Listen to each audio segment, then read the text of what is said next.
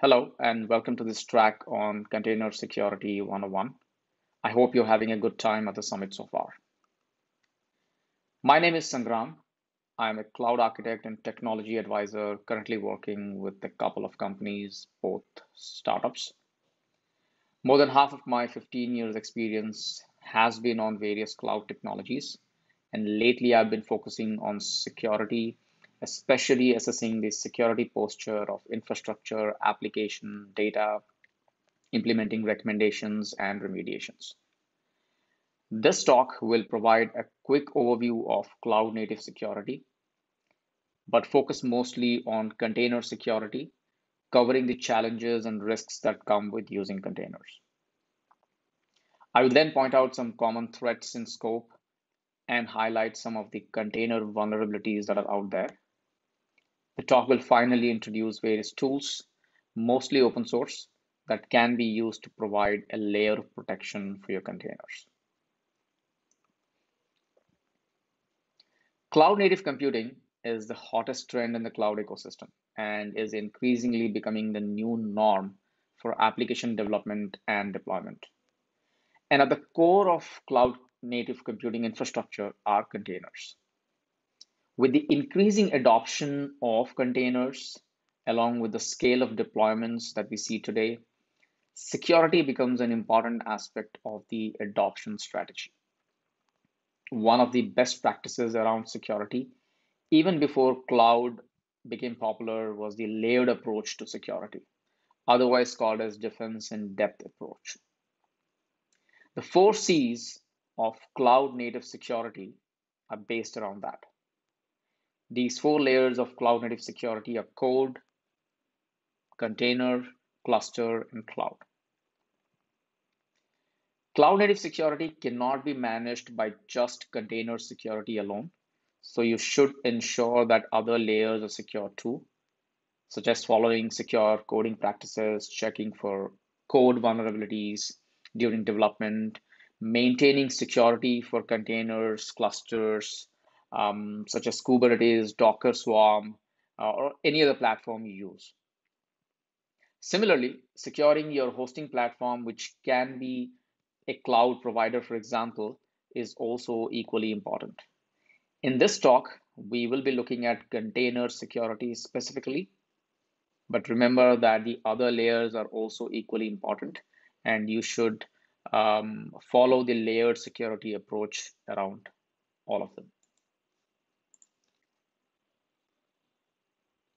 Before we look into container security, let's quickly see what containers are, especially for those uh, among us that are new to this term and uh, we'll then look at what the container adoption market looks like today. The definition from Docker states that a container is a standard unit of software that packages code and all its dependencies so the application runs quickly and reliably from one computing environment to another. Now, the idea of containerization, or otherwise called as process isolation, is not new and goes back a few decades. However, the way it is used today is definitely a game changer. The problem statement that we are trying to solve with containers is reliable movement of code between different compute, storage, network, and security environments while keeping it lightweight, fast, and modular. And we do this by packaging the code and its environment, which includes the dependencies, libraries, binaries, configuration files, all into a single unit, minus the operating system. So containers involve virtualizing the operating system versus, you know, um, uh, uh, virtualization in general, uh, you know, virtualizing the hardware. And containers are becoming increasingly popular there's a growing community and the enterprise adoption of containers have uh, spiraled over the years. The rise of container native applications container native infrastructure devops have further fueled the adoption of containers. So containers solve problems around portability image size agility delivery modernization etc if you're talking about containers there is a very likely chance the word Kubernetes will pop up. So what is Kubernetes? It is an open source software to orchestrate containers at scale. Securing Kubernetes falls under the cluster security layer of the cloud native security and deserves its own focus. It's a huge topic. Certain security vulnerabilities we will talk about later, as well as recommendations on implementing container security may fall under the realm of Kubernetes too. Coming to the container adoption uh, trends, container adoption is uh, spiraling. This can be seen everywhere from tech blogs to media to talks where presenters describe their experience around containers. All of this gives you a sense of how popular containers have been, uh, both among developers as well as business. This can also be seen in various studies and reports done from time to time. So we will take a look at a few reports in the next uh, couple of slides to get an idea on what the container adoption trend looks like. This report, 2018 report by 451 Research, states that containers will be a $4.3 billion market by 2022. And container adoption is mostly driven by its maturity over time, the growing community of developers, um, resources that are available, new enterprise products that are built around containers, and a lot of advocacy by tech giants and high growth startups uh, you know that eventually build a sense of trust and confidence for others to adopt it. Containers are transforming businesses improving agility, reducing cost, risk associated with a faster, uh, you know, uh, uh, release, and hence an increasing number of companies are adopting a container first strategy. Similarly, this 2019 report uh, or survey by Aqua Security and Portworx shows that container adoption in production continues to grow, and this includes large enterprises as well. 87% of the respondents use containers today, and uh, out of them, more than 89% use it in production in some form or other. Similarly, Gartner also predicts that by 2022, more than 75% of global organizations will be running containerized applications in production, which is a significant increase from what it is today. There are many such adoption surveys uh, that show the same trend. Um, this is because of the many benefits mentioned earlier, and uh, this is only going to grow. Uh, and and some experts say this is just the beginning of the popularity of containers for uh, uh, applications or application containerization uh, trends. On the same lines, uh, this uh, CNCF survey of 2019 shows that the use of containers in production has increased significantly. 84% of the respondents are using containers in production, and this is um, you know, up more than 15% from 2018, right? Um, if you look at the first survey of 2016, where it was 23%, uh, this is an, uh, you know, uh, impressive uh, jump. This is a result of organizations having more trust in containers and using them, uh, you know, more and more in user-facing applications. We also have a similar report uh, from Forrester this study, conducted by Forrester Research on behalf of Capital One, shows the rising popularity of containers. And uh, the priority for businesses and IT leaders is mostly to become more and more cloud native and implement a container first approach in their business.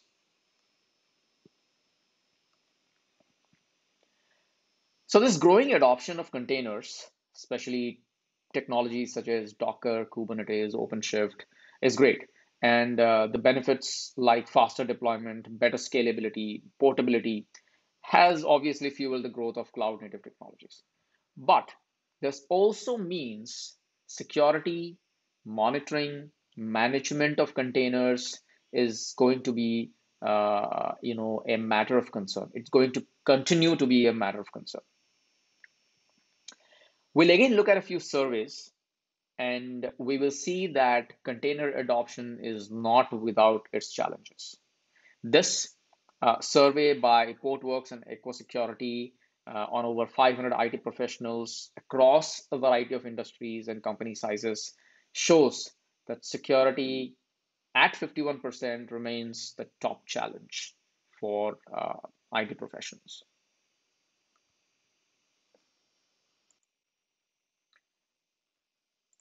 Similarly, the um, CNCF survey of 2019 that we saw that we saw earlier uh, shows that security remains the second biggest challenge in container adoption. Monitoring is also on the list at fifth. Why did we seem that containers are inherently secure due to their architecture, isolation, for example? How and where we use them today introduces a lot of security concerns um, at our operating system level, at the container uh, uh, engine level, application level, and data level. So as containers are deployed by more and more companies and they are used for sensitive workloads, they are used for critical workloads, uh, used for production workloads, they become hot targets for hackers. Having said this, development environments are also hot targets for hackers.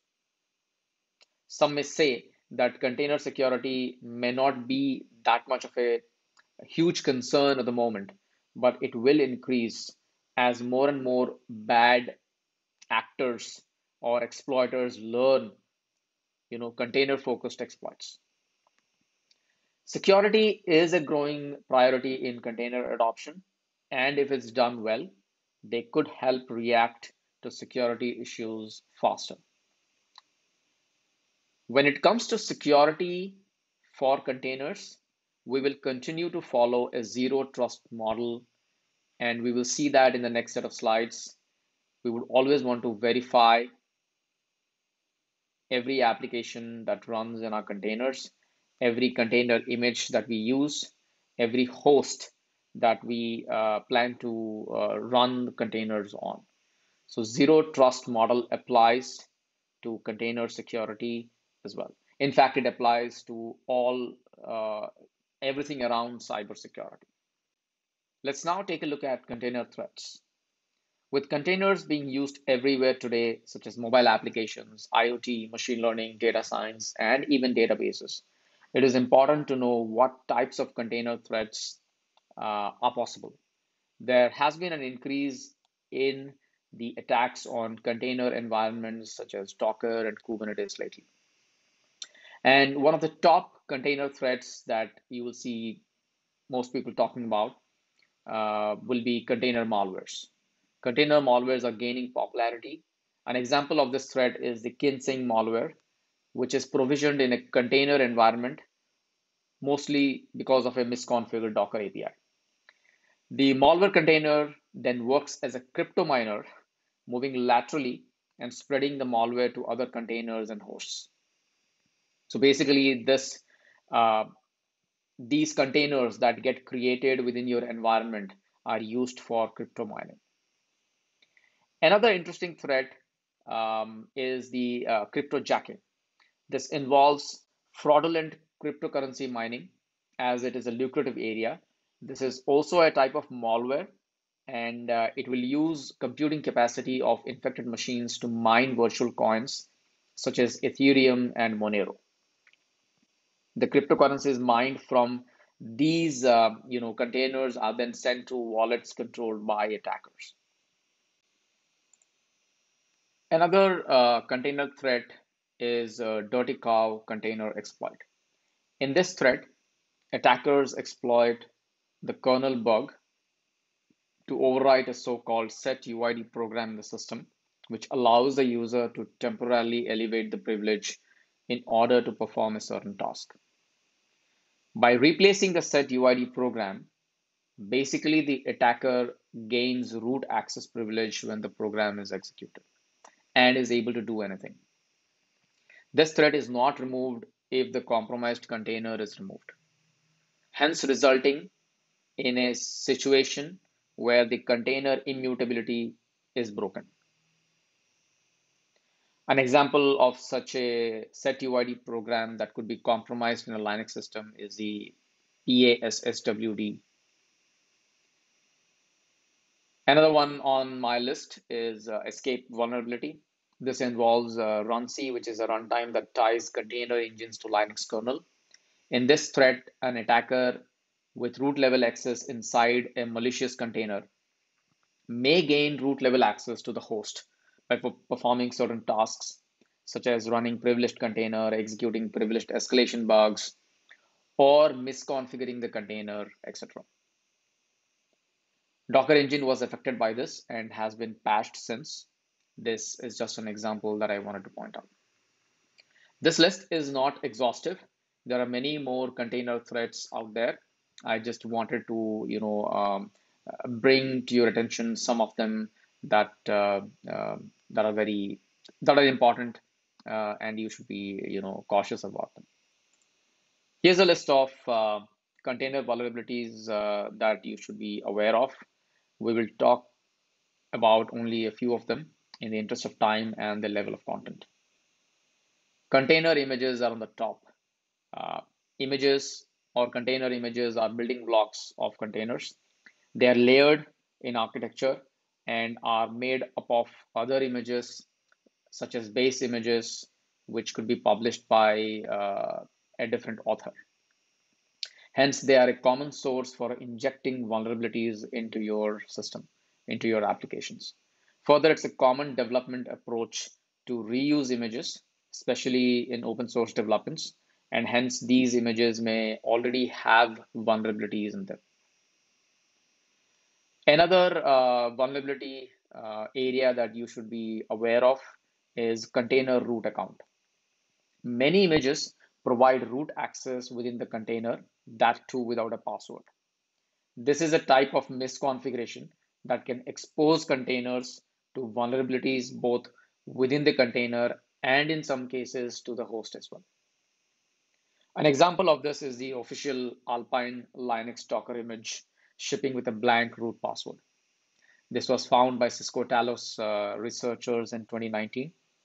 And while this may not be a direct threat, and only systems configured a certain way uh, may be vulnerable, this definitely is a concern. And there are many such images out there that come with blank passwords.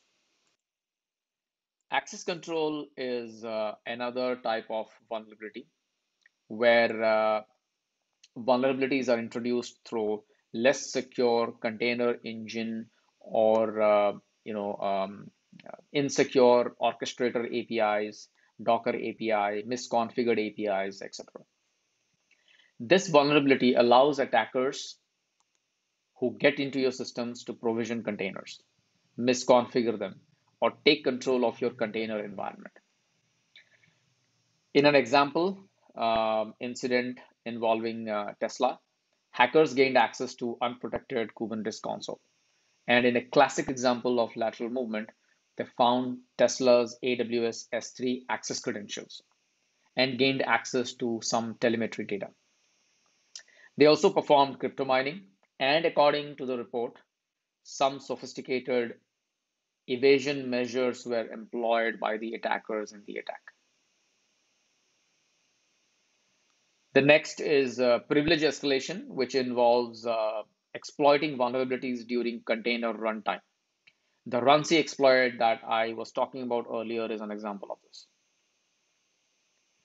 Networking is also an area or a threat vector. It's also an area where one could find vulnerabilities, one could uh, you know uh, uh inject vulnerabilities. Within a container environment, especially one with orchestrators. Containers talk to each other uh, over an overlay network.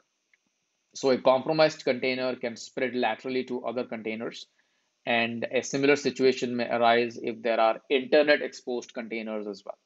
leading to um, you know vulnerabilities um, around uh, distributed denial of service or DDoS, SQL injection, cross-site scripting, etc.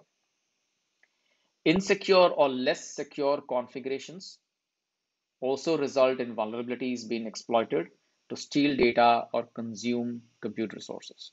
And this is one of the most uh, um, common vulnerabilities out there.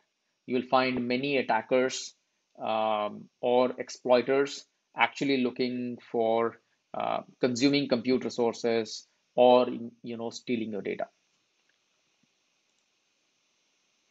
Here are some examples of container vulnerabilities with their CVE numbers. I will not go through each one of them in detail, but just wanted to quickly run by a slide highlighting a few. The uh, CVE 2019 5736 vulnerability, for example, allows a malicious container to override the host runc binary and gain root level code execution on the host. This vulnerability has been patched since it has been uh, you know found out. So this is a vulnerability that would allow root level code execution, container escape, and access to the host file system. Similarly, another uh, CVE from 2019, uh, 5021, is an issue uh, related to the use of blank passwords for root, root accounts in the Alpine Linux Docker images, the one that I was referring to earlier. We'll take a look at some reports again, uh, just to kind of um, uh, reinforce or, or stress on the fact that security is actually something that uh, is a concern uh, for enterprises, for businesses, for developers, um, you know, um, and um, this particular security survey by Portworx and Aqua Security shows that when it comes to container security, the top challenges include vulnerability management and runtime protection. So how should be protecting containers? We will broadly look at two things here, container image security and container runtime security. One of the most important elements in container security is securing the container images.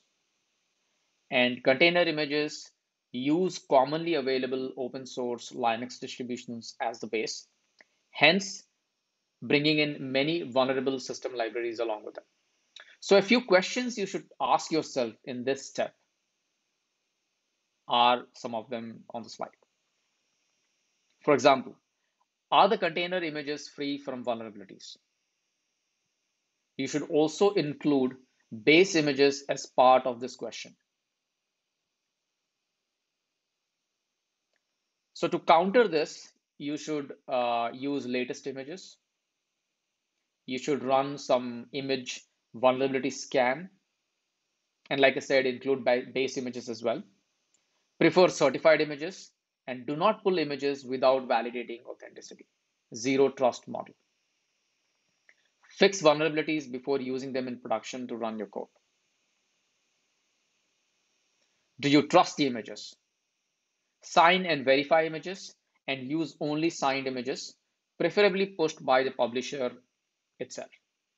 And look at the history to see if anything has been modified. Similarly, you would be using some container repository. Is your image repository or registry secure? Compromised registries are also a threat. They can be used to tamper images. Secure your registry, use private registry wherever possible. Another question that you should be asking yourself is, are you following the least privileged model? A container is executed as a root user if you don't provide a user and could be a security issue. So see if you really want your container to run as a root user. When that namespace is then mapped to the root user in the running container, it means that there could be a potential for the container to have root access on the host as well. So this is an important question that you should be asking yourselves as well. when it comes to container image security. This report by uh, a company that provides products for detecting, fixing, and monitoring vulnerabilities, shows that the top 10 most popular Docker images each contain at least 30 vulnerabilities. Similarly, there, there was a blog post on uh, Security, uh, a company that specializes in using data science to measure, prioritize, and predict cyber risk. And uh, their report states, or their blog states, that nearly 20% of the 1,000 most popular Docker containers have no root password. While the vulnerability is environment dependent, and just because there is no root password doesn't mean it's alarming, this is something that you should definitely not you know ignore given your use cases and giving your workloads. So don't take security lightly. And if you have no need for your containers to be without a root password enforce security in terms of a username and a password. If you don't really have a need for it do not run containers as root as well there are certain use cases for root privileges in containers, such as Docker and Docker or containers that require direct hardware access, right? Uh, so in those cases, uh, you may, uh, you know, uh, look at running containers as root, but otherwise you typically don't need containers to run as the user root. So the things you should be looking at when it comes to container runtime security, and of course, this is not the complete list could be knowing your standard application behavior and monitoring to detect any deviations from the standard behavior. You could use a intrusion prevention system here or an IPS system. Secure your container API access, orchestrators, service mesh. These technologies pose additional um, complexity and bring in new attack vectors. Again, monitor and secure them. Follow best practices and secure container engine platforms. For example, disable capabilities such as set GID and set UID to prevent processes from changing their GID, which can result in escalation privilege. Use a separate user instead of a privileged user for Docker commands. Use C groups and namespaces. Uh, they also help in avoiding privileged attacks. Secure your communication between client and server using certificates, TLS. Don't forget network security. As I mentioned earlier, containers can talk to each other by default. Isolate them using network namespace. Use network security policies, which is, for example, uh, you know, um, uh, by default available in uh, orchestrator softwares like Kubernetes. You can also implement a forced tunnel approach to direct the traffic through an IDS IPS system. Use multi-stage builds and create runtime container images that are smaller in footprint and contain only the required modules and dependencies. So this will reduce your attack surface area as well. Use container-specific operating systems such as CoreOS, Red Hat Atomic, Rancher OS, there are many out there, Keep your host OS up to date and apply the latest security patches frequently. Unauthorized access to your container runtime should always be prevented. You can use solutions such as SE Linux, uh, AppArmor, container security policies, uh, or work in bringing or creating your own container security profiles and implement them uh, in your container runtime. Container runtime security is very, very important. Anyone um, um, gaining access to your container runtime or uh, you know um, finding out a threat uh, vector or an attack surface uh, to compromise your container runtime can uh, you know um, can compromise your um, uh, applications data uh, or the environment or the complete environment itself Let's now take a look at some tools that are available to help you uh, secure, protect your containers.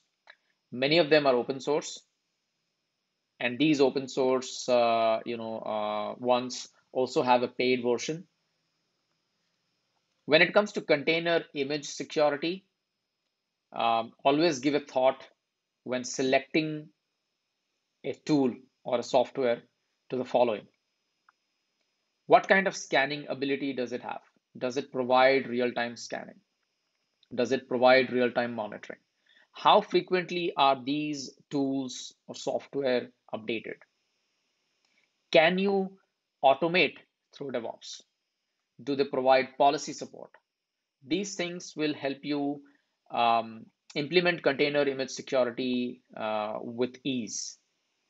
Clair by CoreOS, for example, is an open source project for static analysis of vulnerabilities in application containers. Anchore Engine is also an open source tool that provides deep image inspection and vulnerability scanning. It provides a CVE based vulnerability reporting and is uh, DevOps compatible and supports policies as well. OpenSCAP is also an open source project that provides various benchmarking guides and configuration baselines. Um, you can use them in your container deployment, uh, or you can use them in your container image security uh, areas. For container runtime, uh, we can you know also find a lot of tools that are out there. There are many companies that are also building security tools for containers nowadays. It's an emerging area too. If you're using Docker, uh, Docker itself, for example, provides inbuilt protection such as control groups and namespace capabilities. But uh, you can always use tools to provide an uh, increased runtime security. Look for capabilities uh, such as real-time monitoring, access control, network monitoring, forensics, compliance, and audit in these tools. Sysdig Inspect is a powerful open source tool for container troubleshooting and security investigation. It provides a deep system level capturing and real time analysis capabilities. Falco is also an open source uh, cloud native runtime security project and uh, created by Sysdig and is the de facto threat detection engine on Kubernetes. Docker image security scanning and runtime uh, monitoring and scanning should be a core part of your Docker security strategy or in general container security strategy. Although image scanning won't protect you from all possible security vulnerabilities, it's a primary means of defense against security flaws or insecure code within container images. Hence, it is a foundational part of overall container security. Some um, registries like Docker registries, uh, for example, the Docker Hub provides inbuilt scanning. But if you implement your own container registries or repositories, uh, make sure you um, implement one of these, uh, you know, container security tools. Docker Bench for security, very popular. It's a tool to check for the security posture of your default Docker installation. It implements common best practices for deploying containers in production and is based on the CIS Docker benchmark, uh, currently at version 1.2.0. Use Docker Container Trust for signing images. Uh, this will encrypt them and avoid man-in-the-middle attacks when moving containers around. You could also use, uh, you know, Notary for image signing. There are network security policies, uh, you know, or there are tools that provide network security policies like Cilium and Calico. So if you use them, they they come with network security policies that you can leverage. So to summarize, our container security best practices. Use latest images, always scan the images for vulnerabilities, use images from trusted repositories, always enforce a least privileged access, whether it is APIs or the container or the Docker host itself, always ensure that you are following the least privileged access. And to take care of container runtime security, monitor. Monitor user sessions, monitor network, monitor application behavior, monitor privileged access, monitor privileged containers. Monitoring will help you understand if there is a deviation from your standard behavior. I want to end this talk by stating that container security must be embedded into the container lifecycle and should not be an afterthought. Hence, take a look at how you can use DevOps practices for this. And remember to shift left when it comes to security and implement a zero trust security approach.